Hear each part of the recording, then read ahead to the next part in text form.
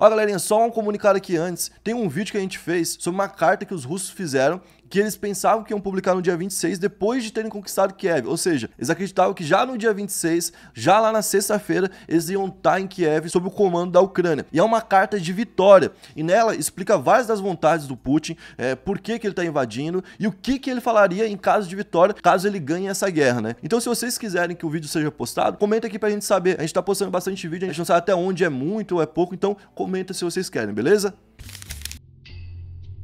Presidente ucraniano pede cessar fogo imediato a soldados russos.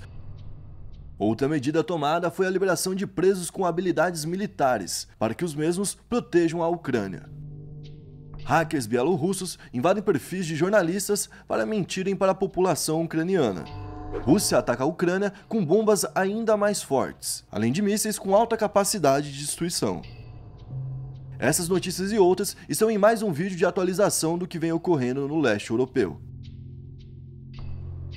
E aí pessoal, beleza? Meu nome é Bruno Fabio, esse é o Planeta Novo e se você ainda não é um inscrito do canal, vai se inscrever agora e deixar o seu like para ajudar a gente. No vídeo de hoje, mais uma atualização sobre a invasão russa à Ucrânia, já estamos no quinto dia, no dia 28 de fevereiro. Hoje eu estou aqui com o Digo Black por trás das câmeras e é ele quem vai me ajudar com comentários ao decorrer do vídeo. Salve Digo Black. Salve meu querido. Beleza? Bom, e ele também vai me dar a meta de likes para esse vídeo. Qual que é a meta de like? A meta de like vai ser 18.850. Repete então. 18.850. 18.850 likes então, e a gente vai começar falando sobre uma exigência do governo ucraniano nesse encontro que vai acontecer lá na fronteira entre Bielorrússia e Ucrânia. Os políticos ucranianos já chegaram no local, foram recebidos e já estão em conversa. E logo que chegaram, já deixaram claro que só tinha uma coisa que eles estavam buscando ali, que era o quê? A Rússia parar de invadir a Ucrânia e tirar todas as tropas de dentro do país ucraniano. Enquanto a guerra acontece, os ucranianos precisam se defender. E eles agora vão soltar alguns presos que têm aptidão militar para poder ajudar na defesa ali dos ucranianos. Mas imagina só,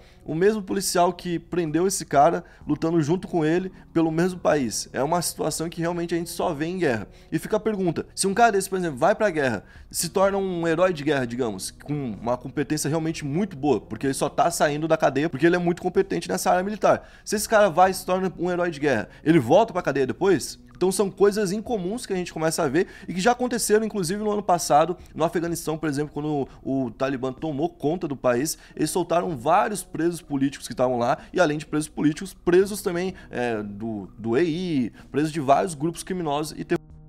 Próxima notícia é sobre hackers da Bielorrússia. Um grupo da Bielorrússia, junto com hackers da Rússia, começou a invadir contas do Facebook e do Twitter. Eu falei ontem que, por proteção, o Twitter foi derrubado lá na Ucrânia, mas os ucranianos estão utilizando ali, através do VPN, em outros países, eles botam lá, por exemplo, que eles estão na Itália, conseguem Sim. usar normalmente, e eles estão utilizando e estão vendo muitos perfis confiáveis, de jornalistas confiáveis, postando coisas que são a favor da Rússia ou que desinformam os ucranianos. Isso é uma tática de um grupo de hackers que se chamam Ghostwriters ghostwriters. Eles fazem exatamente isso. Ghostwriter é até um termo que é utilizado no rap, né? Quando um rapper, por exemplo, canta uma letra que ele não escreve, ele é chamado de ghostwriter. Por exemplo, o MC Pose canta letras do Bielzinho. Então, o Bielzinho é o ghostwriter dele, que tá Sim. por trás. Ghostwriter é como se fosse escritor fantasma, que não aparece, entendeu? Então, eles são isso. Eles são escritores fantasmas de jornalistas. Então, eles estão usando a credibilidade desses jornalistas agora para poder ferrar, então, o povo ucraniano.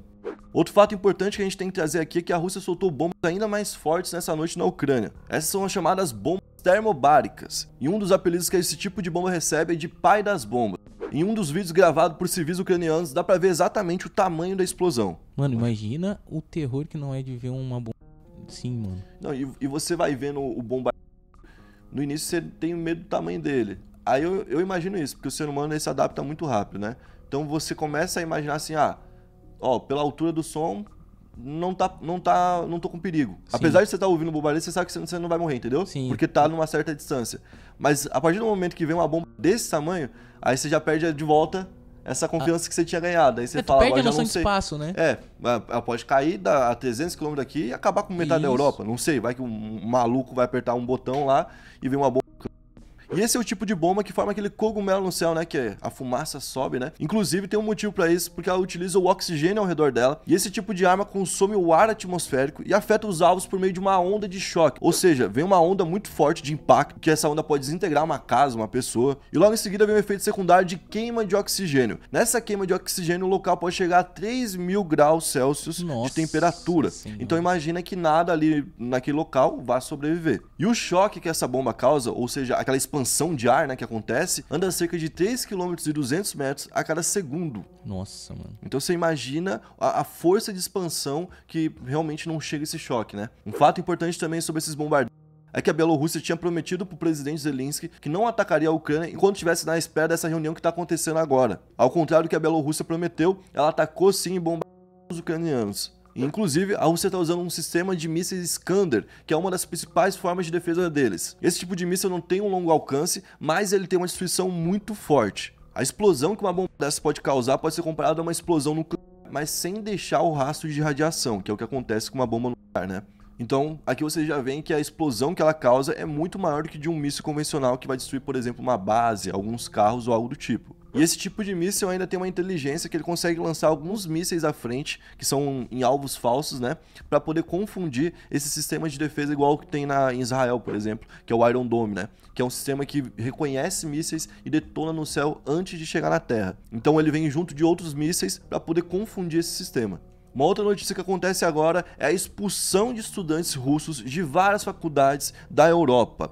Isso daqui é mais uma forma de pressionar o Putin. Quem mais pode pressionar o Putin do que o próprio povo russo, né? Então, os russos agora vão sofrer muitos boicotes. Hoje pela manhã, os russos foram todos correndo para os bancos para sacar o que eles têm de dinheiro, numa intenção de salvar as economias. Só que a moeda deles está indo para o saco, está desvalorizando muito. E enquanto isso, os bancos não têm o mesmo dinheiro de antes. Por quê? Porque os bancos, assim como quase todo mundo que tem muito dinheiro, investem em várias moedas, prevendo a mudança do valor do dinheiro, né? Então eles têm dinheiro em dólar, têm dinheiro em euro, têm dinheiro em libra, e boa parte do dinheiro, na verdade, não era na moeda local russa. Então, como teve o congelamento das contas russas no exterior, todo esse dinheiro, boa parte do dinheiro russo, já está preso e já não pode mais ir para a mão dos russos. Agora começa a ter uma outra onda de problemas. Por exemplo, a Rússia pode sofrer um problema de falta de importação. Se os países se negarem a exportar para a Rússia, ela vai ter uma falta de mantimentos muito grande. E, por exemplo, a gente fala que uma das maiores cartazes da Rússia era o gás, lembra? Sim. Que se eles parassem de mandar gás para a Europa, a Europa poderia morrer de frio. Isso é uma verdade. Só que o inverno deles é o contrário da gente. Então agora a gente vai começar a entrar no friozinho, não é? Sim. Vai chegar março, começa a ficar friozinho que é do outono. Lá eles estão então na primavera. Abandona o frio e começa a ficar quente. Vindo o calor, derrete o gelo. Derretendo o gelo, os equipamentos russos são muito pesados. A maioria dos tanques não consegue andar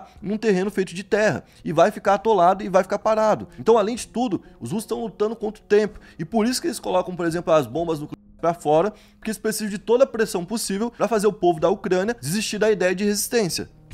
Bom, então, pessoal, esse foi mais um boletim da invasão da Rússia lá na Ucrânia. Eu espero que vocês tenham gostado da forma como a gente abordou as notícias, tenha ficado bem claro para você tudo. E se você não entendeu algo, ou quer entender, por exemplo, como surgiu a OTAN, por que, que a União Soviética caiu, por que, que a União Soviética não existe mais, né? Se você quiser esses vídeos, comenta aqui pra gente. A gente pode fazer. A gente tá com uma equipe bem boa, uma equipe bem competente aqui, e a gente pode lançar 5, 6 vídeos por dia se for necessário, para vocês ficarem por dentro de todo o contexto envolvendo Ucrânia e Rússia, beleza? Tamo junto, até a próxima, valeu, é nóis.